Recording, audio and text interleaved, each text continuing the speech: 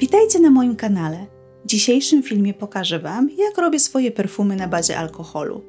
Na moim kanale jest już film, gdzie pokazuję przepisy na perfumy na bazie olejowej. Tam też wyjaśniam trzy główne nuty w perfumach, czyli bazową, średnią i górną, ich trwałość oraz przykłady olejków eterycznych w poszczególnych nutach. Zajrzyjcie do tego filmu, jeśli chcecie więcej informacji albo wolicie perfumy olejowe, które są delikatniejsze dla skóry. Link do filmu zostawiam w opisie. Ja wykonuję oba typy perfum w zależności od potrzeb. Perfumy olejowe nie wysuszają skóry, mają subtelniejszy zapach wyczuwalny z bliskiej odległości oraz utrzymują się na skórze dłużej. Perfumy alkoholowe natomiast, ze względu na lotne właściwości alkoholu, są mniej trwałe, jednak możemy użyć ich więcej, również na ubranie, gdzie z własnego doświadczenia wiem, że utrzymują się znacznie dłużej aniżeli na skórze. Są też wyczuwalne lepiej i z większej odległości. Oba typy perfum zmieniają swój zapach w miarę upływu czasu, a nuta bazowa utrzymuje się na skórze najdłużej. Zajęło mi sporo czasu i wiele prób, zanim otrzymałam zapach, który lubię.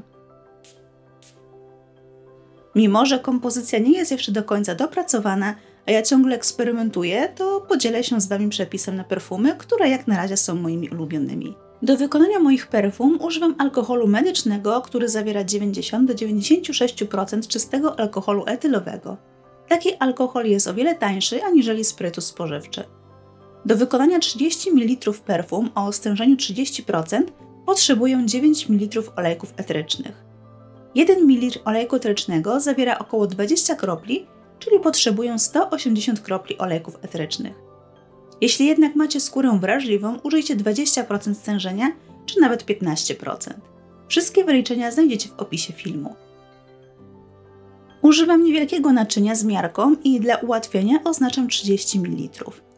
Następnie wlewam około 3 ml alkoholu i do niego dodaję po kolei moje wybrane olejki eteryczne. 9 kropli olejku limonkowego, 18 kropli olejku cytrynowego, 18 kropli olejku ze słodkiej pomarańczy, 18 kropli olejku liang liang, 9 kropli olejku jaśminowego, 18 kropli olejku z bergamotki, 45 kropli olejku waniliowego, 27 kropli olejku szałwiowego i 18 kropli olejku z miry. Jeśli chcę lżejszy i mniej słodki zapach, słodką pomarańczą zamieniam na gorzką, a jaśmin na neroli. Olejki wstępnie mieszam, a następnie uzupełniam alkoholem do 30 ml. Całość ponownie mieszam i przelewam do czystej i suchej butelki, najlepiej szklanej. Takie perfumy najlepiej jest odstawić w suche i ciemne miejsce na około 2 tygodnie. W tym czasie olejki mieszają się ze sobą, a zapach dojrzewa. Olejki eteryczne użyte do tego przepisu pochodzą z wszystkich trzech nut zapachowych. Jednak obecnie nie trzymam się tak przepisowo każdej nuty zapachowej, a łączę ze sobą olejki, które lubię lub które w moim odczuciu będą się dobrze komponować. Staram się jednak, aby w mojej kompozycji znalazły się olejki z każdej grupy. Pamiętaj, aby zrobić test skórny, jeśli po raz pierwszy używasz jakiegoś olejku eterycznego lub jeśli po raz pierwszy masz styczność z olejkami eterycznymi. Robienie własnych perfum jest fajną zabawą i niekończącymi się możliwościami na stworzenie różnych kombinacji zapachowych. Najczęściej mam jedne perfumy lżejsze, kwiatowe na dzień i drugie mocniejsze, bardziej korzenne na wieczór.